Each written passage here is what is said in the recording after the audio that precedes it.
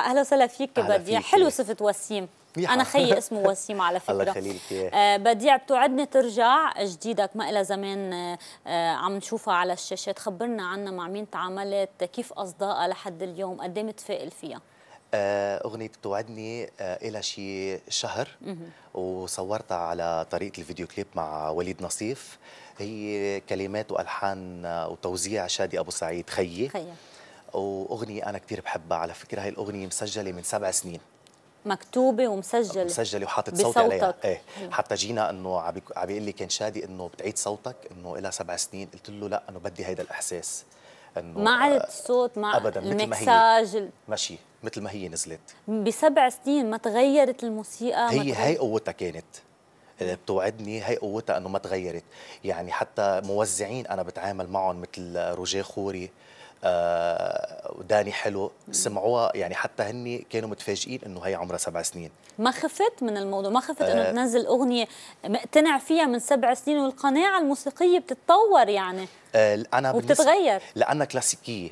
مم. أنا بقول لك يمكن لو كانت أغنية شعبية راقصه بيتغير شوي سيستم الإيقاع طريقة التوزيع. أنا بوافقك ممكن مم. كنا حنرجع نعيد كل شيء بس كأغنية كلاسيكية آه، بتعيش أكثر وشادي كان بوقتها آه، طريقة توزيعه لها للأغنية كتوزيع موسيقي كان متطور فيها. يعني كانت سابقته سابقة عصرها. كان عنده شي حالة نفسية عم بعيشها لكتب الأغنية؟ هو فعلا كان عنده حالة. كان وأنت صحيح. وأنت عبرت عنها بصوتك. إيه. عم نشوف الكليب وراك على الشاشة المشاهدين عم بيشوفوه. خبرنا أصداء الكليب كيف وقد إيه مبسوط بنتيجة الكليب؟ أنا صراحة بدي أقول لك آه، بالنسبة لإلي آه، هيدا الكليب آه، هو أكثر شغلة أنا كفيديو كليبات. عملتها. مش معناته الكليبات اللي عملتها قبل مع المخرجين بوجه لهم تحية ما حبيتهم. بس هيدا أنا بيمسني بيعني لي كثير كليب بتوعدني. وعم بيلاقي أصداء وأهم شيء قدم للأغنية. يعني خدمه. خدمها للأغنية. كليب ما اطيبها حلو بس كان الأوديو آه سابق صح. الكليب. بدي أحكي عن هالأغنية كمان ما اطيبها ولكن قبل ما ننتقل لأغانيك الثانية خلينا نسمع مقطع هيك منك باستديو من بتوعدني ترجع شو رأيك؟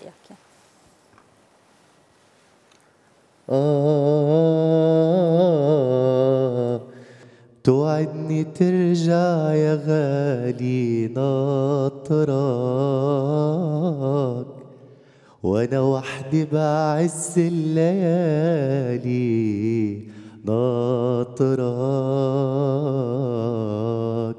صار لي مدي لحالي عبحاكي روحي وخيالي.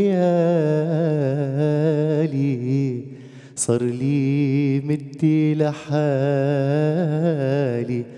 عبحاكي روحي وخيالي يا دنيا شو غريبي سرقتي مني حبيبي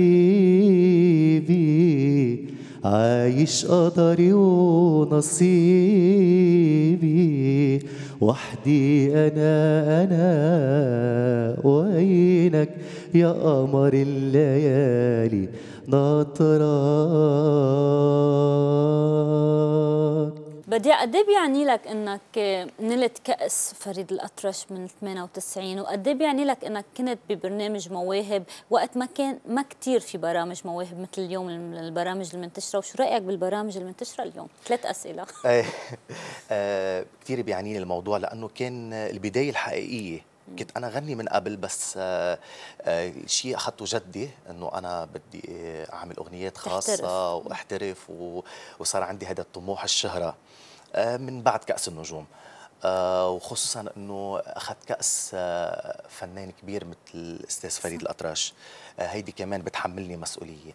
وبالنسبة لبرنامج كأس النجوم أنا بعتبره بوقتها من أصعب البرامج لأنه كان مباشر على الهواء يعني هيدا المشترك ممنوع الغلط. الغلطة الغلطه الشاطر بألف. صحيح. غير كان كان في بروجرام استوديو تتذكر مين معك كان بالدفعة هيك؟ إذا أسامي اليوم نتذكرها أنا وياه كان في الفنان ملحمزان ملحمزان بوجه له تحية. أنا بلشت صداقتي مع الفنان ملحمزان بهداك الوقت. آه الفنان ملحمزان أخذ كأس عبد الوهاب. حلو. موسيقار محمد عبد الوهاب. طيب آه اليوم بتتابع برامج المواهب؟ شو اختلف بين البرنامج اللي انت فيه واليوم؟ قد إيه اليوم بتحس في قيمة لهالبرامج أو ما في قيمة؟ في تجارة ولا ما في تجارة؟ عن جد عم بيخرجوا مواهب ولا عم بيتاجروا بال... بالأصوات مثل ما البعض بيقول؟ أنا برأيي آه، في في الشغلتين في تجارة وفي أصوات عم تطلع ما بدنا نقول لا. آه، بس في مشكلة إنه ما عم بينعطى وقت بين البرنامج والتاني. يعني اليوم كل بالسنة عم بينعمل ثلاث بروجرامات وقد إيه عم بيخرجوا أصوات. طب وينهم هالشباب أو الصبايا هالأصوات المواهب؟ عم ننساهم الناس عم تنساهم هي مشكلة كبيرة.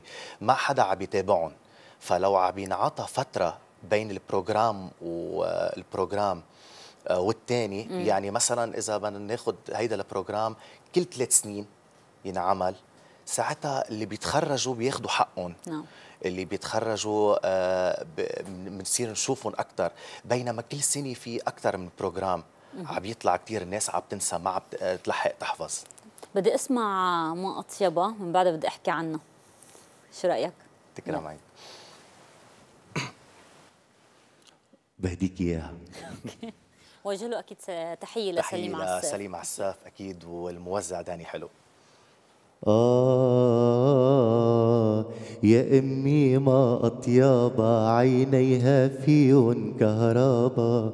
وجهها بيشبه نور الشمس الهيئة الشمس بتقربا يا أمي ما طيابا حركاتها مش معقولة كبيرة وبعدها طفولي حركاتها مش معقولة كبيرة وبعدها طفولي بالهضامي مجبولي. أنا من غير سكر بشربها وجهها بيشبه نور الشمس. هيئة الشمس بتقربها يا أمي ما طيابها انه بتقرب من الشمس أنا مش لا يعني. كثير بديع. عندما سمعت هالأغنية من سليم عاصف لأول مرة حسيت إنه حتكون الهيت حسيت إنه حتنقلك من مكان لمكان حسيت إنه العالم حتحبها. إيه. كان عندك هذا الإحساس طبعا من البداية؟ طبعا. يعني من أول ما سمعتها أنا قلت له لسليم خلص هاي الأغنية أنا بدي اخذها دغري. ما قد بتعتبرها علامة فارقه اليوم بمسيرتك؟ آه هي البداية لإلي الحقيقية. كانت بالنسبة لإلي كاسم بديع عند الناس. نعم. عندك شركة إنتاج؟ هيدا السؤال. وين شركات الإنتاج؟ هي صراحة مشكلة كل الفنانين. آه مشكلة فنانين الكلاس اي مثل ما بيقولوا لهم ومشكلة الفنانين اللي عم يبلشوا.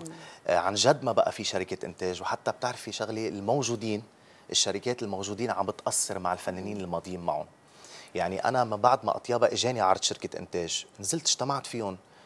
أنا وعم بحكي مع المدير الشركي طلعت آخر شيء لقيته كأنه عم بيقول لي إنه أنت بك نحن بننتج 50% وأنت بتنتج 50% يعني الشركات الموجودة الفنانين الماضيين معهم ما بيعطون المساحة.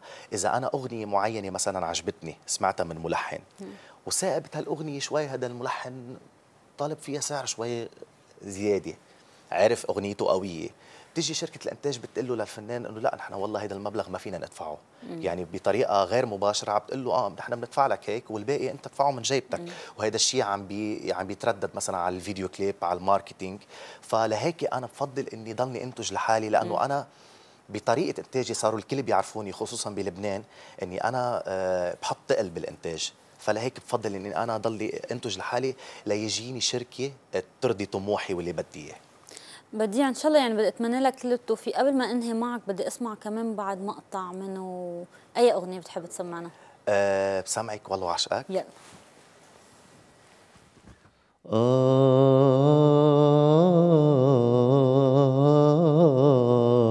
والله وعشقك عيني أيوة بجنون عشقك ولا شيء. في الدنيا دي يبعدني عن هواك. يلا حبيبي سوا نعيش أجمل هوا. قربك هو الدواء والدنيا لقيتها معك والله والله. عشقك عيني أيوة بجنون عشقك ولا شيء. في الدنيا دي يبعدني عن هواك.